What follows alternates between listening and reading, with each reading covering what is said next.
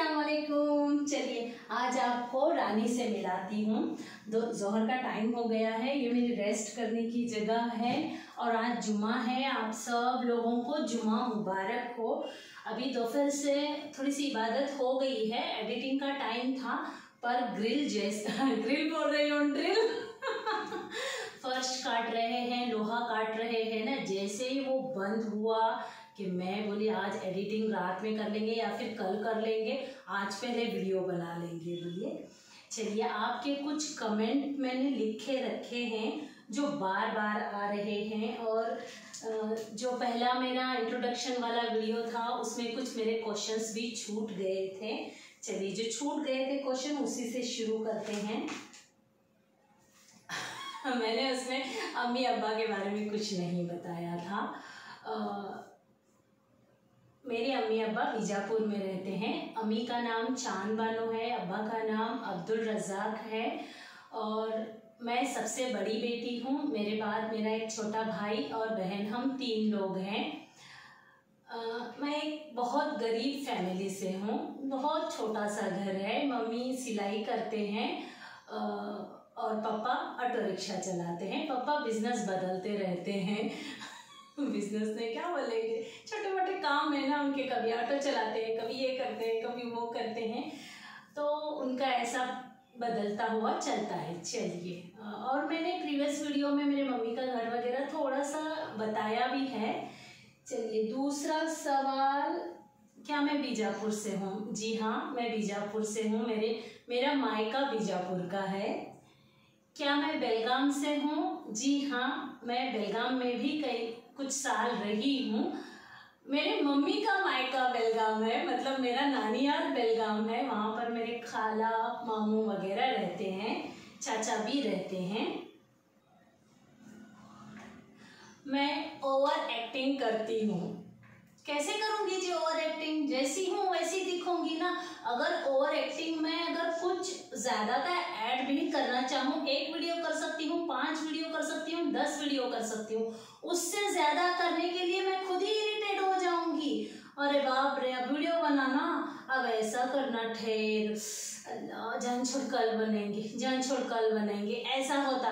मेरे इस चैनल पर लगभग सात सौ या आठ सौ वीडियोज़ हैं। पहले वाले चैनल पर लगभग उस पर भी बारह सौ के आसपास वीडियोज़ हैं तो मैं और एक्टिंग नहीं करती हूँ, मैं जैसी हूँ, वैसी ही दिखाती हूँ आपको।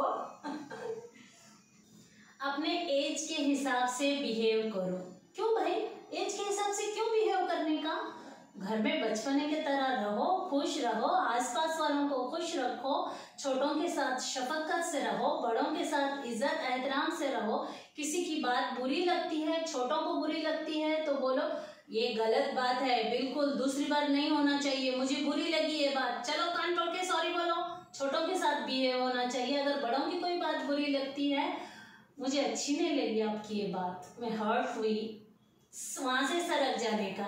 और आधे घंटे बाद मेरे बात ठीक है, आधे घंटे में नहीं, दस ही मिनट में आमना सामना हो गया तो हाँ चलो खाना खाएँगे, पानी पियेंगे ताकि हम, हमको बुरा लगा हुआ हम जब तक सामने वाले को नहीं बताएँगे, तब तक सामने वाले की ज़ुबान नहीं बदलेगी। अगर हम ऐसे ही खामोश रहेंगे तो उसमें और जोड़ के सामने वाला कुछ और बोलेगा, हम बड़े हैं चुप बैठेंगे तब सही नहीं होगा। और हम एकदम से पलट के ज़ोर में जवाब देंगे, तब भी हम गलत साबित होंगे। खामोश रहेंगे तो सहना पड़ेगा। तो बड़े हैं तो तहजीब, तमीज से थोड़ा सा बोल देने का।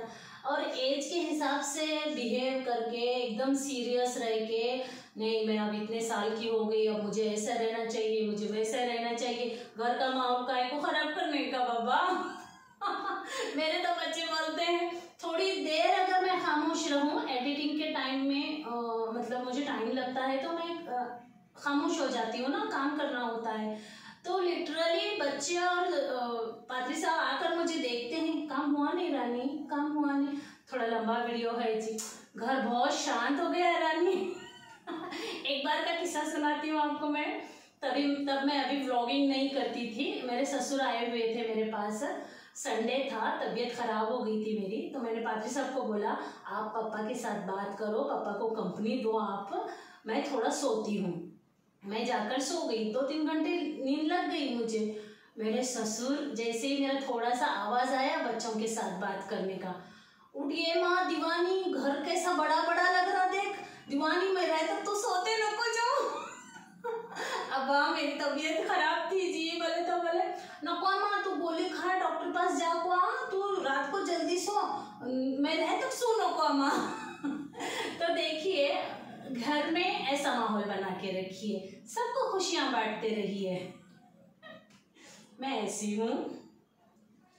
मेरे चैनल पर मुझे एक कमेंट बार बार आता है। हर बार अलग लड़की करती है, अलग बहन करती है। मेरा कहाँ कम हो जाता है? मेरा खाना मेरे हस्बैंड को पसंद नहीं आता। अब इस बात का आंसर मैं आपको क्या दूँ? एक तो आप घर में मम्मी पापा के यहाँ सही से कुकिंग करके आए हैं कि नहीं, आप वो अपने आप को जाँच लीजिए। और कुकिंग करना कोई बड़ी बात नहीं है। बहुत सिंपल है। सिंपल तरीके से छोटी छोटी रेसिपीज़ शुरू करिए। और हस्बैंड को पसंद नहीं आता है मतलब आप सासू माँ का खाना पकाना देखिए। उन्होंने क्या मसाला डालते, कैसा डालते, कैसा पकाते, क्या करते, ध्यान देकर देखिए। वैसा उनके जैसा कॉपी करने की कोशिश करिए। दूसरी बात, खाना पकाते वक्त मोबाइल मत चलाइए। नमक वगैरह डालते वक्त बहुत ध्यान रखिए। और मुझे अभी पिछले दिनों में कुछ कमेंट आया कि नमक कभी ज़्यादा हो जाता है, कभी कम हो जाता है। हर किसी से होता है ये कोई बड़ी बात नहीं है। पकाते पकाते ही हमको चीज़ें समझ में आती हैं। शेफ लोगों के लिए रेसिपीज़ होती हैं प्रॉपर हम किचन क्वीन के लिए रेसिपीज़ नहीं होती हैं। जैसे मैं बाजी साहब के लिए बना रही हूँ तो वो चढ़ता नमक खाते हैं तो मुझे चढ़ता नमक डालना पड़ेगा। और अगर मैं दूसरों के लिए बना रही हूँ, कोई बीपी पेशेंट है तो उनके लिए मुझे नमक कम डालना पड़ेगा। ये हम किचन क्वीन का सबसे बड़ा मसला है। तो आप जिसके लिए बना रहे हैं, वो नमक उन्होंने कैसा नमक खाते हैं? कभी एक आध बार सब्ज़ी में नमक, जो सब्ज़ी की तारीफ़ करते हैं ना, वो सब्ज़ी को ऐसा चसा के लेके खा के देखिए आप। और पहले अपने मुँह में का पानी ऐसा करके निकल जाए। क्योंकि मुँह में ज़्यादा पानी रहा और हमने वो सब्ज़ी टेस्ट कर ली तो हमको उसका टेस्ट प्रॉपर नहीं आएगा। तो वैसे टेस्ट करिए और जिसमें वो बोलते हैं, ये इसमें मज़ा नहीं आया तो उसको भी अच्छे से टेस्ट करिए। तो उसमें क्या कम है? नमक कम है? मिर्च पाउडर कम है? उसको ऐड करिए। और कुकिंग करना जिसको पसंद है, जो अपने हस्बैंड को माँ बाप को सास ससुर को, बच्चों को अच्छा खाना खिलाना चाहते हैं तो वो हर रोज़ कुकिंग करे। तभी कुकिंग अच्छी होगी। और हस्बैंड को खाना नहीं पसंद आता। आप में तो मैंने इतनी सारी कमियाँ गिना दी। अब इन सारों में से आप कुछ नहीं करते। आप बहुत प्यार से, बहुत ध्यान से, अच्छे से पकाते हैं। तो फिर आपके हस्बैंड को बाहर के खाने की आदत होंगी। वो बाहर बिरयानी, बाहर चाट वगैरह खा के आते होंगे। तो आप उनके टेस्ट तक कभी नहीं पहुँच सकते। क्योंकि बाहर अजीनो मोटो चाइनीज़ साल्ट वगैरह बोलते हैं ना, वो डालते हैं। वो सीधा सीधा सेहत खराब होती है उससे। मैंने तो सुना है किडनी वगैरह, लीवर सब खराब होता है। तो हम किचन क्वीन जान बूझते हुए जहर खाने में नहीं डाल सकते। तो फिर आपके हस्बैंड को अगर बाहर का खाना पसंद है तो आप ये सोचना छोड़ दीजिए कि मैं खाना अच्छा नहीं बनाती, उनके टेस्ट तक नहीं पहुँच सकती। कभी भी नहीं पहुँच सकते। और ये इतना वीडियो क्लिप आप निकाल कर उनको फॉरवर्ड भी कर सकते हैं कि आप बाहर का खाते हैं, इसलिए मुझे, मेरा खाना आपको पसंद नहीं आता है। और कुछ लोगों को थोड़ा खट्टा खट्टा पतला पतला खाना पसंद होता है, उनके हिसाब का पकाना चाहिए। तो कुकिंग इन्हांस हो जाएगी बिल्कुल भी। मेरे चैनल पर मैं सब्जियों की चिकन की कम से कम टाइम में सिंपल रेसिपीज़ बताती हूँ। आप अगर ट्राई कर रहे हैं तो आप पहला ट्राई करिए, कम क्वांटिटी में ट्राई करिए, खुद खाइए, बच्चों को खिलाइए। जब बच्चे पसंद करें, दूसरी बार पका के हस्बैंड को सास ससुर को दीजिए। अगर घर में कोई ऑब्जेक्शन नहीं है तो ट्राई कर सकते हैं मेरी। निराश नहीं होंगे मेरे रेसिपीज़ से। मेरा वीडियो कौन वीडियो बनाता है, कौन एडिट करता है?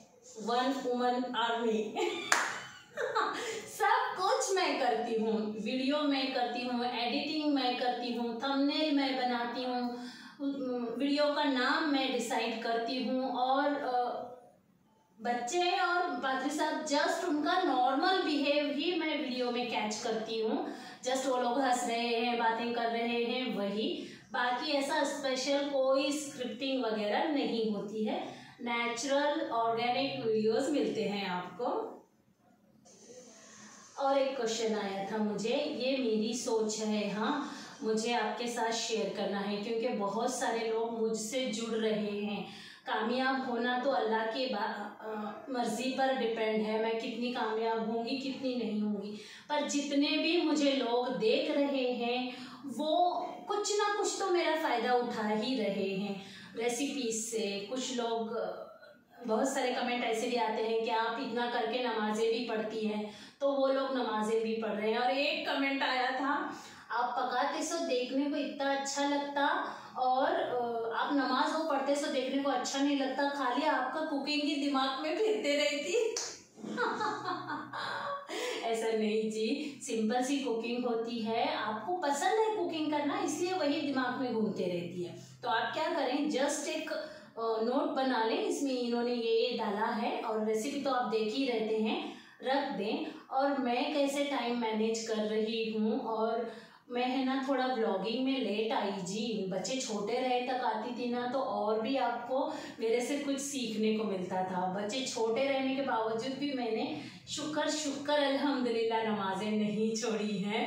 अभी थोड़ा सर दर्द की वजह से गड़बड़ हो रही। गड़बड़ छः महीने में एक आधी नमाज़ छूट जाती है। पहले तो नहीं होती थी। शुक्र शुक्र, अल्हम्दुलिल्लाह। मैं कौन से बात पर थी जी? हाँ एक कमेंट आया था। तस्बी पढ़ते हैं तो उंगलियों पर पढ़ना चाहिए, बिल्कुल उंगलियों पर पढ़ना चाहिए। अब हम किचन क्वीन देखिए मैं थोड़ा टाइम लगा कर भी पढ़ती हूँ तस्बियाँ और उंगलियों पर भी पढ़ती हूँ और मैं मेरे जो मनकी की तस्वीर होती है ना, उसमें भी पढ़ती हूँ। उंगलियों को अल्लाह ज़ुबान देगा। तो उंगलियाँ बोलेंगी, ना जी, ये मेरी सोच है हाँ अदरवाइज़ मत लीजिए। उंगलियाँ बोलेंगी, ना, अल्लाह कुछ तो भी मन के उन्हें तेरे नाम के घुमा दी थी हमारे उंगलियों से। बोलेंगे, ना जी, ये क्योंकि उनको आदत हो गई है ना घुमाने की। और दूसरी बात मैं ईद पर मेरे शोहर के कदम बोसी करती हूँ। ये हमारी पुरानी परंपरा है। हमारे नानी, दादा, उनके अम्मी अब्बा से हम सुनते, देखते, करते आए हैं, पुराने पुराने लोग। हमारे इसमें कंसेप्ट है, हर चीज़ का, हमारे इसमें नहीं, इस्लाम में ही कंसेप्ट है। हर चीज़ का दारो मदार नियत पर है। ये पहली बात हो गई आप लोगों ने, बहुत सारे लोगों ने बोला कदम बोसी करना बिल्कुल गलत है, आप कैसे काम कर रहे और जब मुझे लगा कि अरे बाप रे, इतने सारे नेगेटिव कमेंट आ रहे तो मुझे जांचना चाहिए। जब जांची तो एक मुफ्ती साहब बोल रहे थे, पढ़ सकते हैं, मगर हर दर्जे से नीचे नहीं उतरना। अब हम किसी की इज़्ज़त करते हैं जी मैं आपकी इज़्ज़त करती हूँ, आपकी कदम बसी करना चाहती हूँ, पैर उठा के दे दो। ऐसे क्या खड़ा इंसान पैर उठा के देगा? शर्तों पर कहीं इज़्ज़त होती है क्या? तो मुझे वो सही नहीं लगा। और एक मुफ्ती साहब बोले कि, पढ़ सकते हैं, इसमें कोई हर्ज नहीं है, गलत नहीं है, पर आप नीचे झुकेंगे, देखने वालों को गलत मैसेज जाएगा तो ना करें इन कामों से बचें। ये मुझे सही लगा। बिल्कुल, कोई अगर काम हम कर रहे हैं, किसी को गलत मैसेज जा रहा है तो वो काम नहीं करना चाहिए।